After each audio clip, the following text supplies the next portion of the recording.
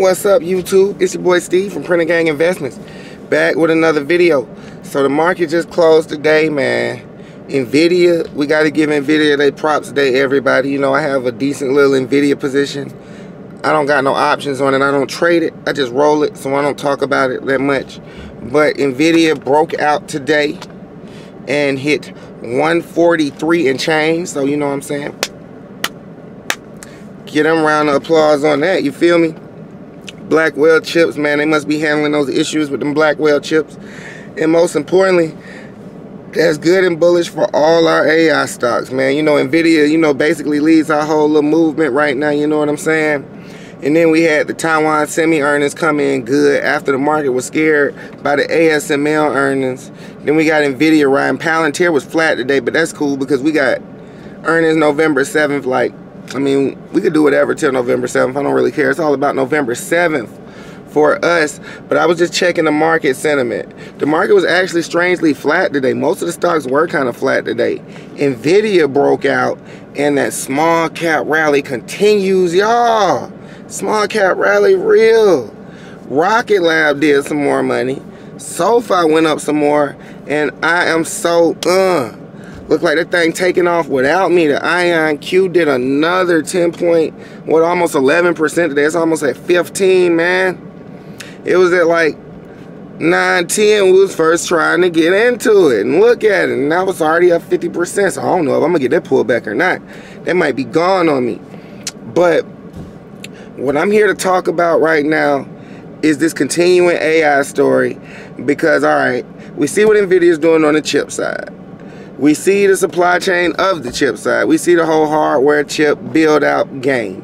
Then we see Palantir. We see Palantir with the infrastructure play, with the with the business enterprise play. So I get that. I get how AI is going to be getting used there.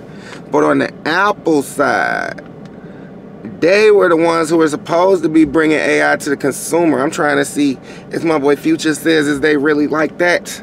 Is they really like that is the question, you feel me? But I was just listening to one um, analyst talking about Apple Intelligence and how he's overweight Apple Intelligence. And it kind of sucks for your boy because I actually got an Apple call. It's worth like eight, nine hundred dollars. I started with $167 and went to 1600 I sold $600 worth, put a thousand back in, and they just belt the ass, like really giving me problems ever since. And I got this little punk ass iPhone 16, but they swear this thing gonna cause an upgrade cycle. I don't know. I'm holding my car down because it's Apple, and I don't want to doubt them. But come to think of it, I probably should have sold that Apple call and bought some Nvidia at the time. But I don't know why I didn't think that. I'm so used to avoiding stocks where the calls are too expensive and just buying the shares. But let's look at this real quick. Listen to this man talking crazy. You know, we get so many different reads from so many different analysts and different data sources. What are you seeing in the data that gives you uh, some comfort? Yeah, no, sure. Uh, so what we've seen more recently, and you talked about it, the initial weeks did show weak momentum in terms of iPhone orders just starting out of the gate. What we've seen is a recovery since then, and really the rationale in terms of probably what's driving that is when we look at consumers who upgrade into like an iPhone 15, the biggest cohort seem always appears to be the iPhone 14 user. So one year habitual use sort of upgrader tends to be a big cohort that drives that initial order momentum. And really what happened is you didn't really get that momentum initially this year, primarily because Apple Intelligence was a bit delayed. So the very tech savvy consumer who's upgrading every year decided, okay, there's no rush really to order. And what we've now steadily seen since then is the order momentum's picked up and now lead times are practically in line with iPhone 15. If you consider that supply this year is actually a bit better and easier for Apple uh, overall with the supply chain being a lot more normalized, what you're seeing is probably high single digit higher demand year over year on the iPhone 16 versus the 15. So does it confirm the view of some who believe that there will be a surge in demand when Apple Intelligence is available? And are you amongst that group?